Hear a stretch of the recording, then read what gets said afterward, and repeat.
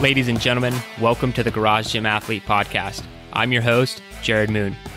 The Garage Gym Athlete Podcast is a result of my desire to build better humans, unequivocal coaches, and autonomous athletes. I've spent the last several years obsessing over program design, nutrition, and every other way you can optimize human performance. This podcast distills the latest scientific research with what I've learned and blends it with the not so scientific field of mental toughness. We are here to build you into a dangerously effective athlete. If you enjoy this podcast, you can find out more about our training at garagegymathlete.com. And if you want to pursue more into the field of coaching and programming, head to endof3fitness.com. Thanks for listening.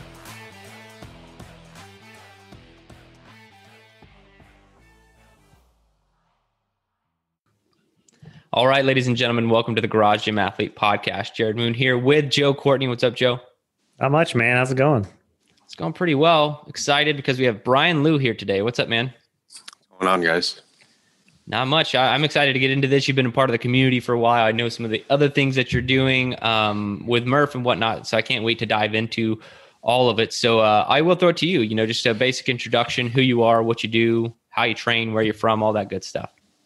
Okay, so uh, my name is Brian, um, and uh, so I live in New York, uh, in one of the uh, more suburban areas. Uh, not in the city where uh, it's crowded and it's super like congested wherever you go, but. Um, I work out of a one car garage, so its space is about 18 by 20. No, sorry, 18 by 10. And I didn't start out that way, but um, uh, I, I work for the city, so you could say I'm a civil servant. Um, you know, just doing uh, some paper pushing, uh, but my my job is really more uh, geared towards uh, con- contra- contractual work because uh, our agency, our city agency, owns a few buildings. So I guess you could say we're more like landlords. So we take care of a lot of like the tenant stuff. Um, but yeah, so I've been training at home um, I'd say for at least like 16 years. Um, nice. So uh, the whole reason why I even started training at all is because I played high school football. Um, and so uh, it was just one of those things where, uh, you know, you've been working out for so long that, or the, the, idea of working out or getting in shape or just the idea of strength is, has been ingrained into since, you know, those times. So, uh, um, so I, I, I didn't I didn't work out at all or anything during college after high school. Um, and then I just wanted to get back into it, and uh, I went I went to the gym, um, and then uh, after a while, like being a broke college student, you know, it started adding up because at the time it was like 60 dollars a month, and it was practically more than two thirds of my paycheck, and I was just like, okay, this isn't working out.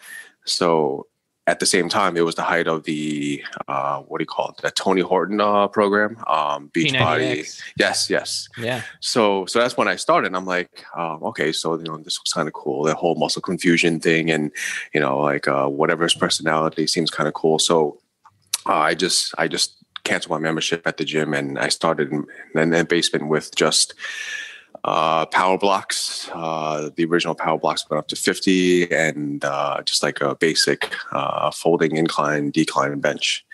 And uh, I, I, didn't have a place to pull up, uh, to put a pull up bar, you know, for all the pull up workouts. So I just made some makeshift like um, rack lift type of pull up thing.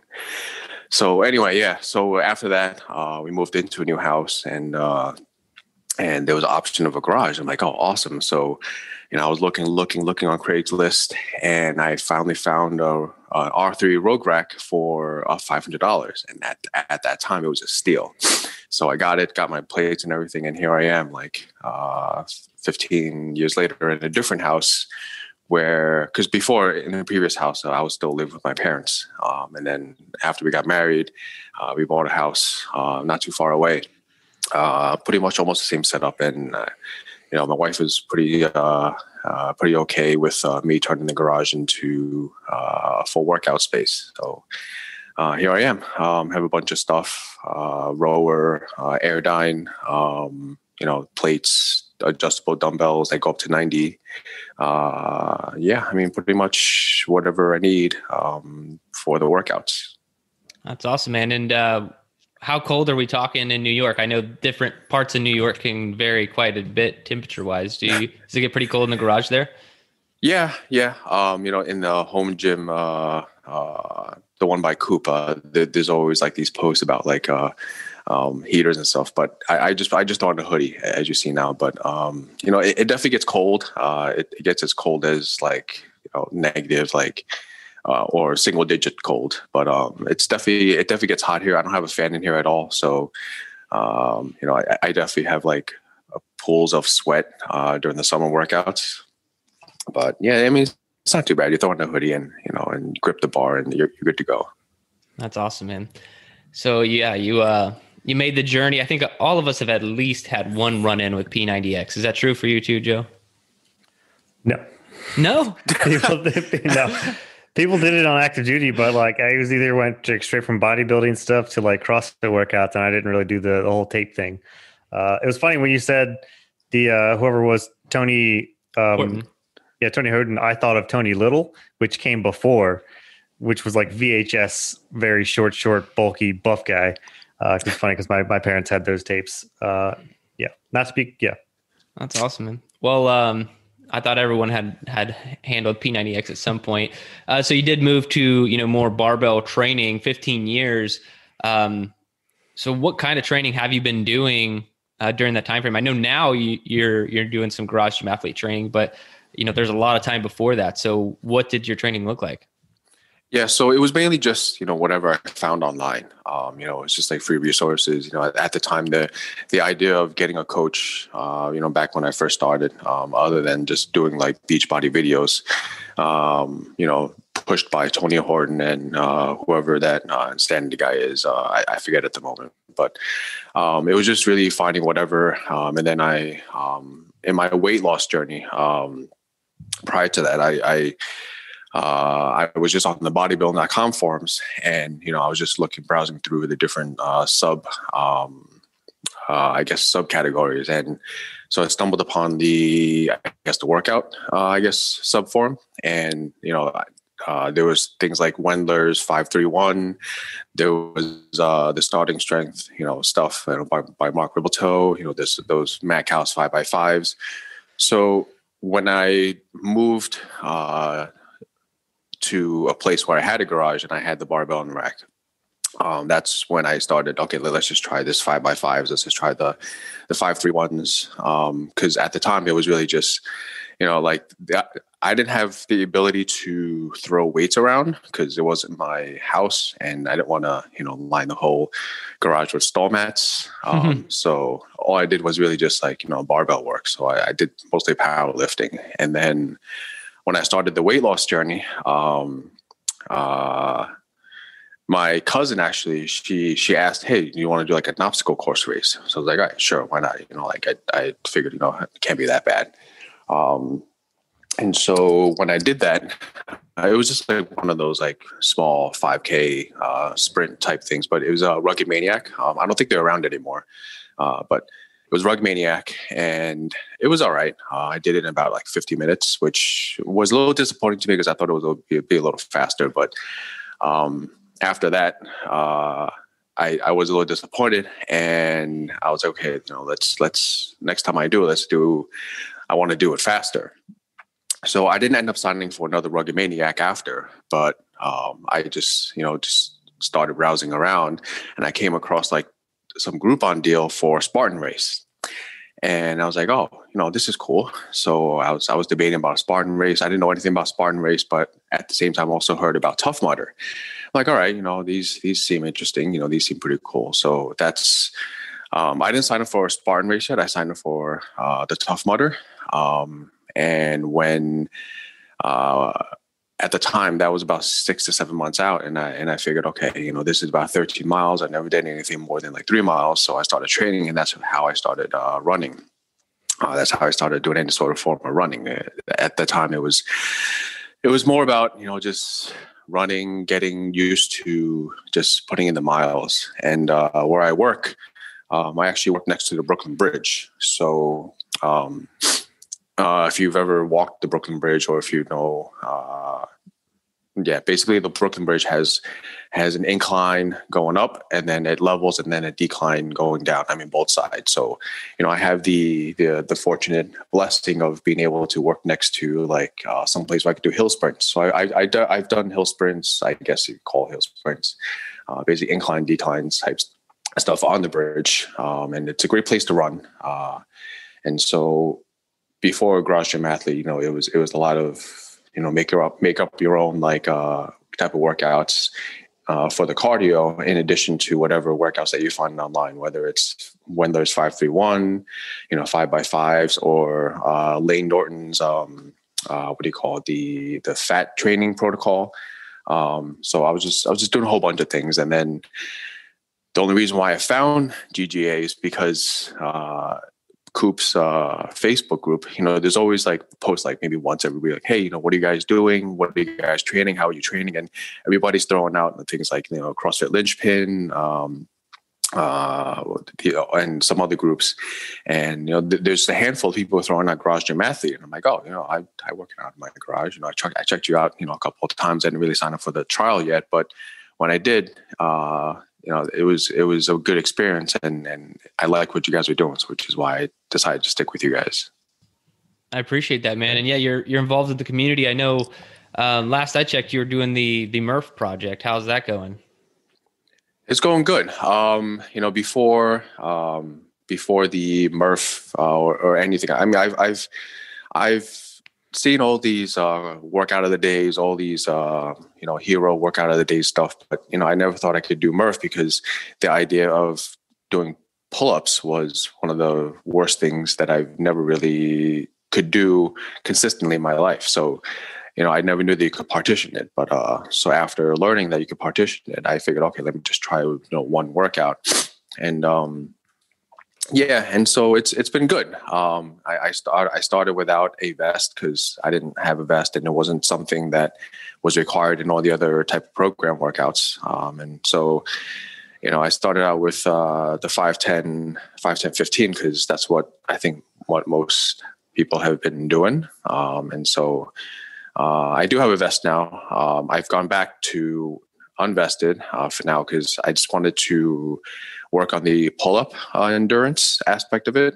because um, I know I got a little comfortable uh, with the 5, 10, 15. And, uh, you know, there's always that phrase that, uh, that you coined, the killing comfort. So doing the 10, 20, 30 definitely kills more comfort than uh, at least the 5, 10, 15 with the vest for now. Because you know, 5, 10, 15 with the vest, you know, you could always pound out five. Well, I mean, at least for me, like always pound out five, rest a little, but you know, unvested 10, it's it's always a struggle towards a ladder sets to get in at least 10 straight. So.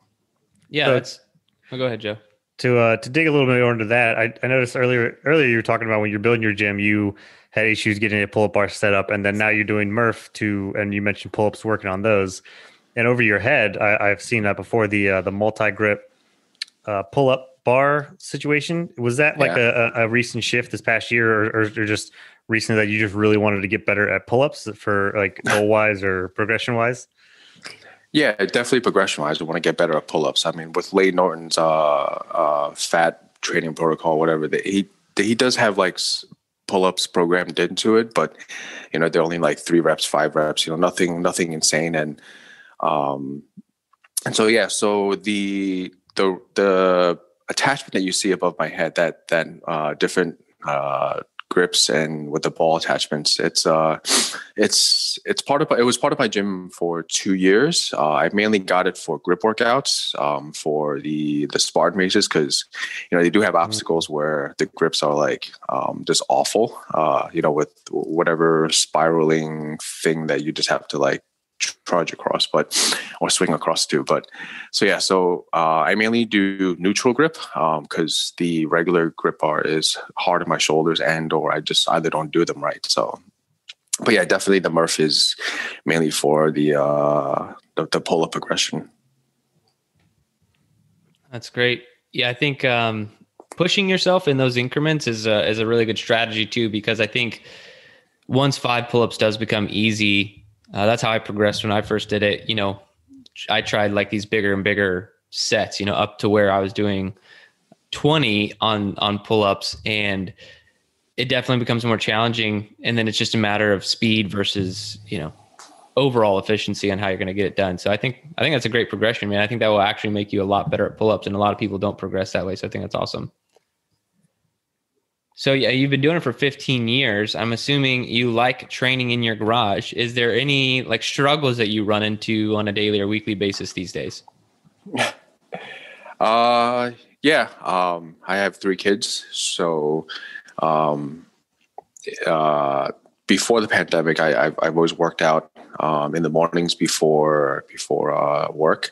So like a lot of the uh, the GGA folks, um, you know, we're up at like three, four in the morning, five.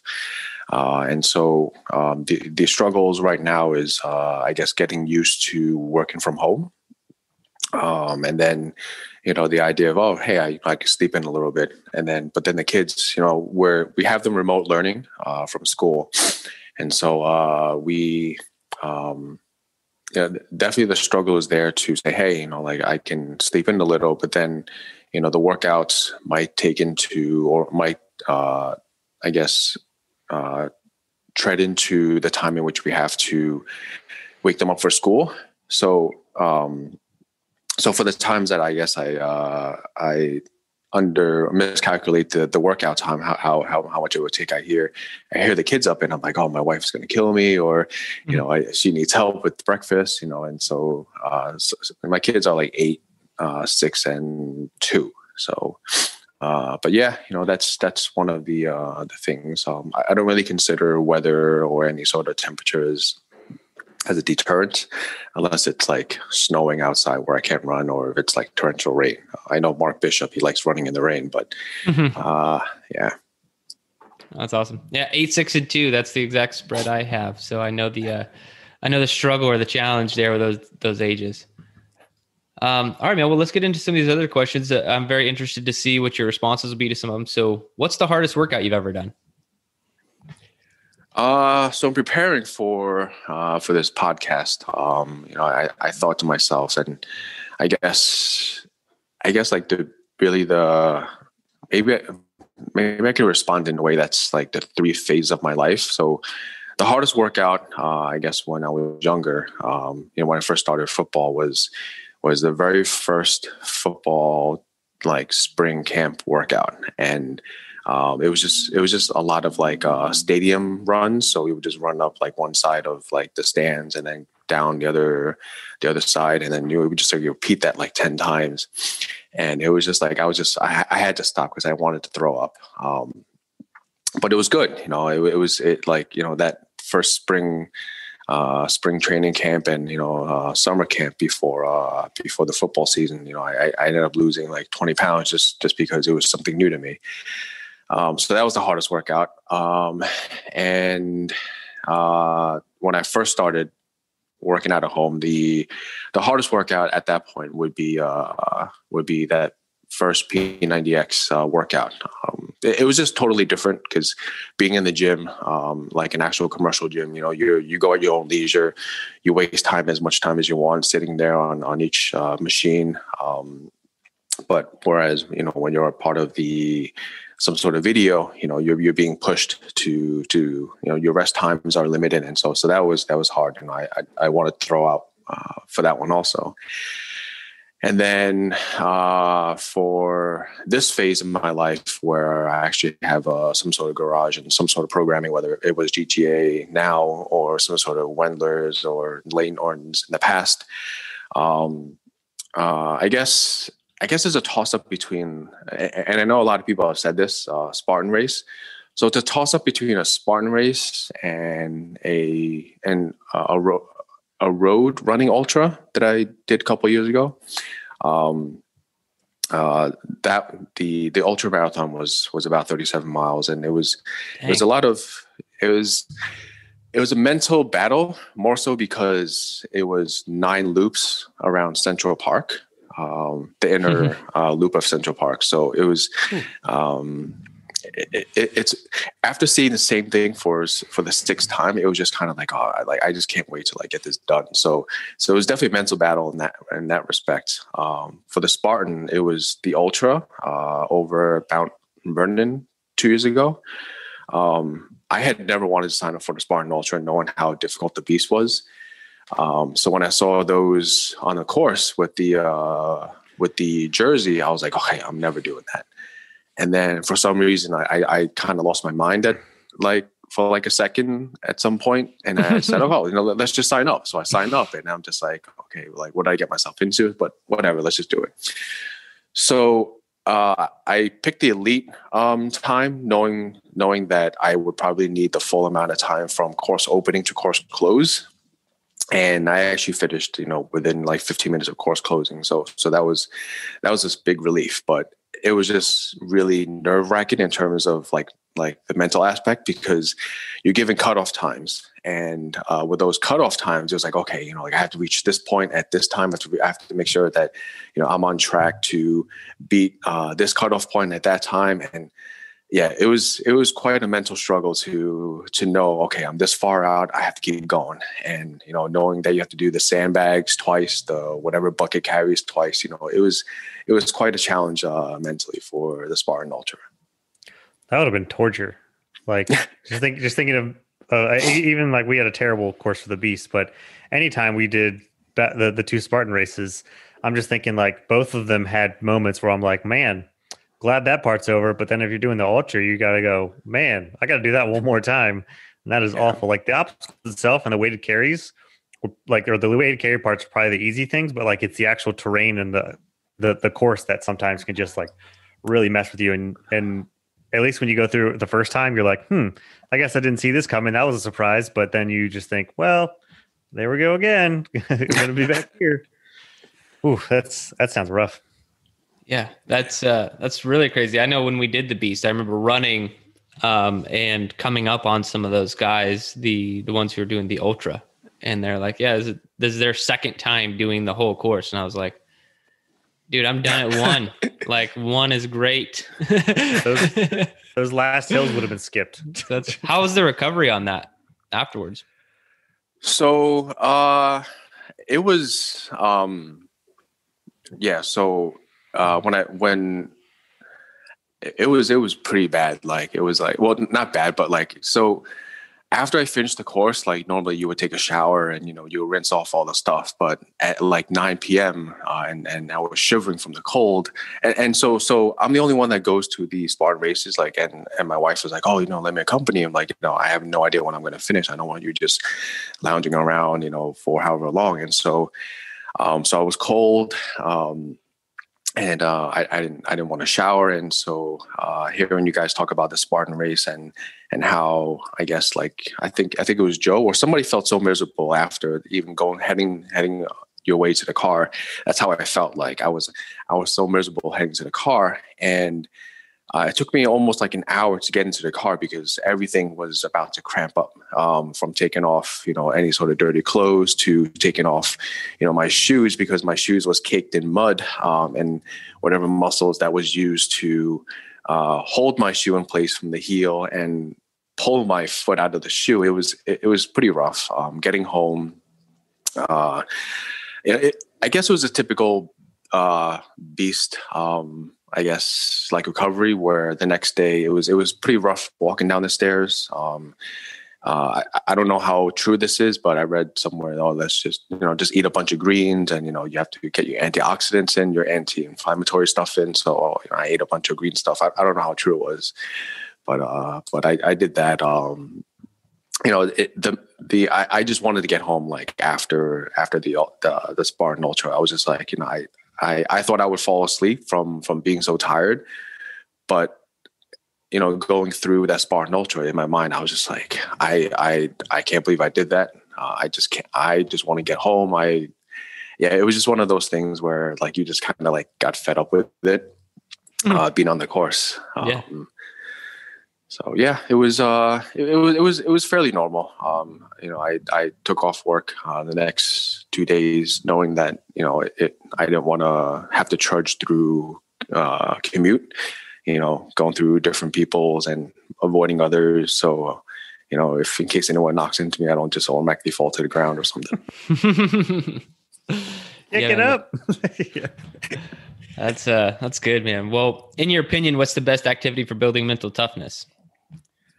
Uh, so I'm preparing for the for for the podcast. You know, I, I was thinking, you know, like how you know how how to answer this question. How do how to give something that um you know that someone else hasn't given. You know, there's, there's there was definitely a lot of great uh, responses to this question, and you know, I I really couldn't think of really anything. You know, because uh, you know you can always say, oh yeah, just sign up for something, have a goal for it, um, or um, or just uh, yeah, it was it was just I, I couldn't come up with something other than I guess a joke that I had in my head, which was you know have kids, you know, because you know kids definitely uh, they build your mental toughness because you could yell at them, you know, at, at like at one hour, and then next hour you, you'll you'll feel regret saying, oh, you know, did, did I go too hard on them? You know, was I too uh, was I was I too lenient maybe? And then you start feeling you know guilty, and then so so I guess in that regard, if if you're a father, you definitely have a lot of mental toughness in that regard.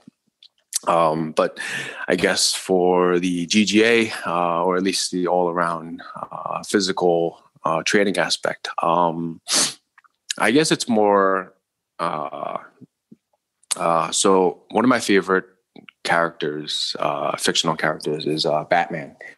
And so one of my favorite movies is the first one by Christopher Nolan, Batman Begins. And there's a line in there in which you know young Bruce Wayne he falls through I guess the the Batcave like hole and he's and um and it was father who was telling him something like oh you know like why um, why do we fall? And and the father uh, afterwards says uh, the reason why I fall is I'm probably butchering this phrase but uh, the reason why I fall is because we can learn to pick ourselves up again. And so you know it's it's one of those things where i guess you know to build mental toughness is knowing that you know you are going to fail uh, whether it's you know you're not going to wake up for a workout um, you know you may have like an extra cheat day here and there but you know it's all part of you know the struggle. It's all part of the journey. And so you know just having one failure here or one failure there isn't going to uh, going to derail you. And and so you know just keep going uh, know that the that the overall bigger picture is what matters. Um, and all the uh, stuff in between uh, between now and your your goal is is you know it's just all part of the journey. You know, as as they say in football, you know, it's uh, everything that happens in between those sixty minutes uh, is is all part of the game. So I guess that's would be my answer. Love it, man. All right. If you could only have one piece of equipment to train with for the rest of your life, what would it be? Uh, I know some have said the rowers. I know some uh, have said you know the barbells, and someone I think recently said sandbag. Um, uh, I guess I don't know. Um, I, I can't decide between. I guess like uh, the, the I don't know. I, I, I if if I had to pick one.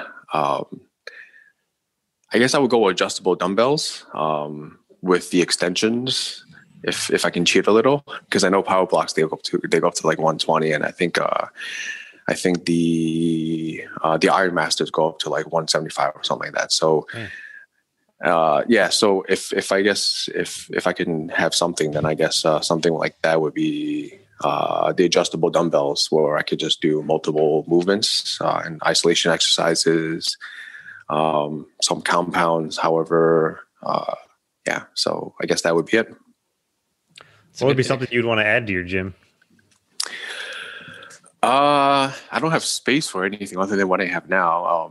because um, I have uh, the family's bikes here. I have uh, one of those uh, uh, power wheels cars that my parents uh, bought for my kids. So um, it's taking up space here. But I guess if I had, uh, I guess a functional trainer, um, one of those uh, cable machines that uh, you could, you know, do one arm or two arm cable exercises. Uh, it, you know, it would just expand. I guess like you know maybe like a chest workout or like you know one of those chest flies, um, or just I guess a functional trainer would probably be it. awesome, man. Well, what is your best advice for all the garage gym athletes out there? Uh you know keep posting you know keep uh you know keep posting you know your your journey. Um i know uh, a few a few have done so. Um you know so so just shouting out some uh, some folks like you know the sullivans you know they they posted their journey uh either from nikki um and sorry i forget you know the husband's name but um I, I know i know that you guys have been posting uh so i see you um and so you know having that exposure guys you know is is important. Um so you know uh, I know that we're all internet strangers, but you know, seeing you know you guys post, you know, it, it definitely helps and bolsters the community. Um, so besides posting in the GGA group, I, I would also uh, encourage you guys to post in whatever Facebook groups, uh, mainly like I guess Coops uh, home gym group, because that's how I found you guys. So if nobody you know ever decided to post about oh you know like what do you guys do, and someone just you know, no nobody posted oh I I, I I'm a part of this group called you know Garage Gym Athlete then I would have never found you guys. I would probably would have you know went with other groups just test the waters and stuff. So um, definitely spread the word. Um, and you know, and while you're here, you know, you know, just you know, keep encouraging others and also um, you know, post yourself. You know, because you know, no matter where you are, if you're just lifting the barbell or if you just have like no equipment whatsoever, you know, you're still part of the group, and and you know, it's awesome to have you. So, yeah. I love it, Brian. That's yeah, that's great. Um, well, I really do appreciate your time today and for being Garage Gym Athlete and and uh, really for for everything. I know you you are one of those people who posts and you we get to catch little pieces of your story here and there. It's always motivational. So thanks for being a part of the community, man, and, and thanks for your yeah, time today. Thank you. Of course. Thanks, thanks for listening guys. to the Garage Gym Athlete podcast. If you want to learn more, go to garagegymathlete.com. You can learn about our training. Let us send you a copy of our book, The Garage Gym Athlete, or you can even get featured on the Garage Gym Athlete podcast. Thanks for listening.